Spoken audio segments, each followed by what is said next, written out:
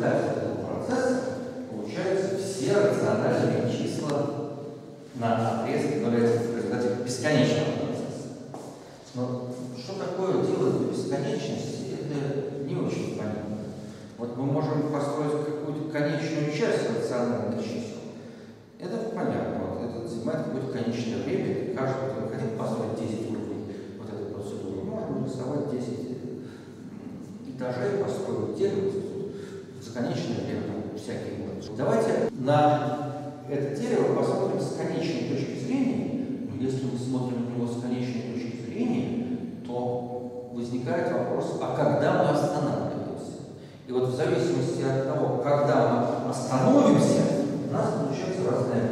Надо выделить два подхода, как я уже говорил, классический и не классический. На первый взгляд, классический подход немножко более сложный, чем не классический. Классический подход приводит к последовательностям, ну, это, когда это понятие возникло, термин «ряд» не употреблялся в строго математическом смысле. Поэтому классический подход приводит к рядам Фуре, но вот они ряды не в математическом каком-то смысле, их надо называть вообще последовательности. Последовательности А не классический подход, он приводит к последовательностям шернобровых. Как ни странно, вот на первый взгляд кажется, что классический подход несколько более неестественным. То есть вот мы давайте просто вот наше дерево будем рисовать до тех пор, пока появляются числа со знаменателем, не превосходящим. А вот сложили вы тут два числа по правилу медиана, получилось число знаменателя больше, все, мы его не пишем. Вот тогда мы останавливаем. В классическом случае мы останавливаемся, когда у нас исчерпались все числа со знаменателем U. То есть мы зафиксировали какое-то U, и мы получили F U, последовательность сперва 0, потом одна U, там, дальше будет R U. Давайте вот напишем фи q минус 1, который будет q минус 1 на q. И последнее r q фи q, которое здесь единица. Фи q, знаете, фи q это количество элементов в. Как мы поняли, надо вычитать единицу. Итак, что же такое это форель? Мы взяли наше дерево и нарисовали его до тех пор, пока у нас были знаменатели, числа не превосходящие. Вот когда мы не можем больше ни в одном месте продолжить э, наше дерево, чтобы число было до знаменателя меньше u, вот все, мы получили эту последовательность, которая здесь написана, и все остановится.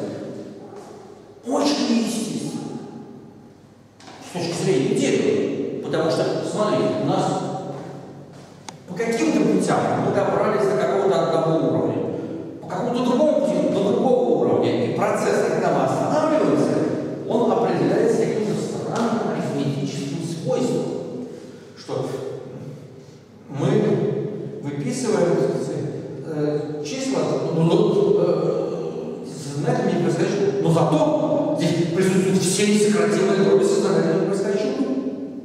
Вот здесь вот написано все несократимые дроби из отрезка 0,1 со знаменателем меньше равно.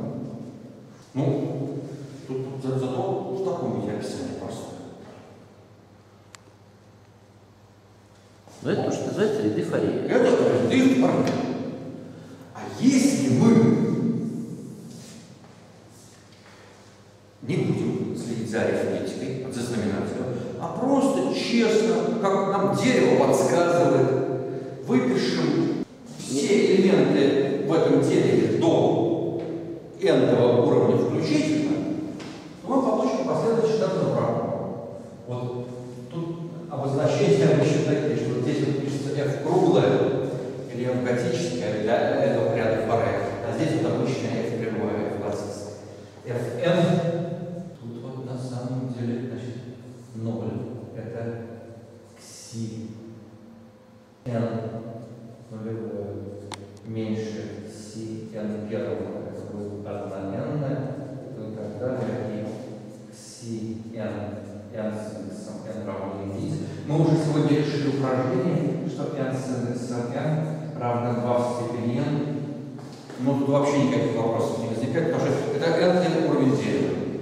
А вот что такое FQ, тут вроде вот как-то совсем неестественно. Потому что на самом деле это количество чисел несократимых дробей вида А на B, когда B не превосходит Q. Вот если B фиксировано, то количество несократимых дробей вида А на B, когда А от 0 до B, вот это количество, это известное просвещенным людям, под просвещенными людьми можно иметь не только математиков, специализирующихся в теории чисел, но и студентов, даже школьников, мат-школ. Значит, это называется фиа b, функция Эйлера. Количество несократимых дробей с данным знаменателем. Ну, можно его по-другому написать. Фи от b – это количество элементов множества. А натуральных чисел, А не превосходит b, и А и b наибольшие общие взаимно просто. У нас студентов первого курса учат теории чисел. И они там сдают зачет, на зачете. Последний зачет принимается по тесту. Среди тестов такой вопрос, чему равняется фиат Ну и, и, в общем, когда там в этом тесте, там, там 4, 4 5, 5 вопросов, там, на все ответы правильно. Ну и, в общем, когда там, я иногда ставлю даже зачет, когда не все отлично правильно, вот, но когда фиат стал получается равно 4 пятых, то это скорее не зачет. Целое число, ну вот, фи, если b простое, то фи от b это есть b минус 1, потому что все натуральные числа, не превосходящие b, кроме b, взаимно простые. Ну а когда там простой, там формула есть фи большое от q. Это сумма по b, не превосходящему фи от b. Ну и на самом деле, вот по порядку величины, это есть, что там у нас?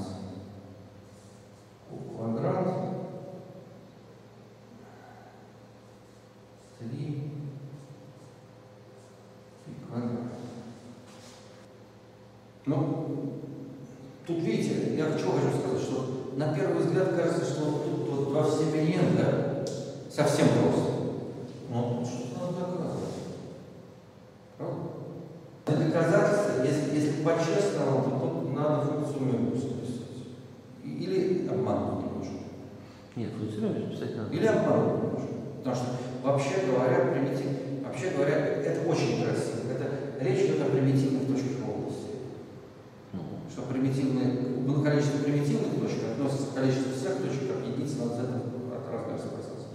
Но количество элементов здесь выражается совсем простой формулой. Не классической